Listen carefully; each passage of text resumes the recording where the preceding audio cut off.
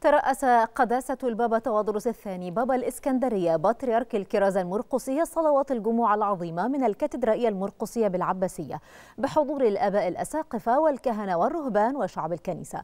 يأتي ذلك بينما يترأس قداسة البابا توادرس الثاني صلوات عيد القيامة المجيد من الكاتدرائية المرقسية بالعباسية مساء الغد بحضور كبار رجال الدولة والمحافظين والسياسيين والإعلاميين والشخصيات العامة. ورب الأرباب.